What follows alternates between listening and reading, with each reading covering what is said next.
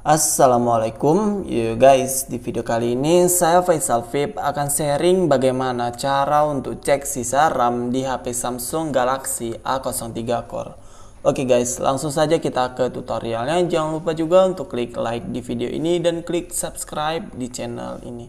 Nah guys untuk mengecek sisa RAM di HP Samsung A03 Core pertama kita masuk ke menu pengaturan pada HP kita Oke, selanjutnya kita masuk ke menu sistem.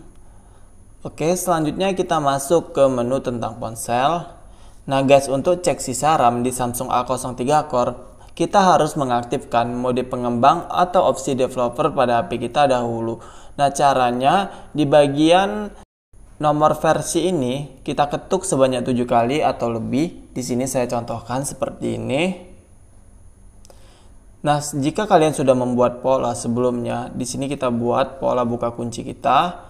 Mode pengembang telah diaktifkan. Oke, selanjutnya kita kembali.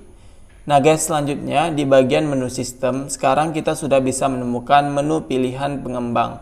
Nah, selanjutnya di sini kita klik. Nah, ini menandakan mode pengembang di HP kita sudah aktif.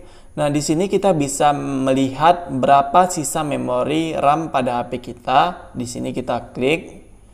Nah, di sini kita bisa memilih jangka waktunya. Kita bisa setting dari 3 jam sampai dengan satu hari terakhir.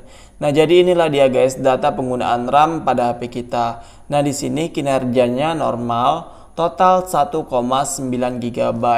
Nah, di sini ada penggunaan rata-ratanya yaitu 50%. Tersedianya di HP saya saat ini sisanya yaitu 0,97 GB. Nah, di sini kita bisa cek pemakaian memorinya guys. 17 proses menggunakan RAM dalam 3 jam terakhir. Nah, jadi di sini kita bisa lihat aplikasi atau sistem apa yang menggunakan RAM paling besar pada HP kita. Nah, di sini kita bisa lihat detailnya. Dia diurutkan dari yang paling besar mengkonsumsi RAM pada HP kita ya guys. Nah, jadi seperti itu guys, cara untuk cek sisa RAM di Samsung A03 Core. Nah, buat kalian yang sudah selesai cek sisa RAM, di sini kita bisa nonaktifkan mode pengembang pada HP kita. Oke, di sini kita kembali. Karena kita sudah menonaktifkan mode pengembangnya, maka menu mode pengembang di menu sistemnya sudah tersembunyi kembali. Oke guys, sekian video dari saya. Semoga bermanfaat untuk kita semuanya. Terima kasih.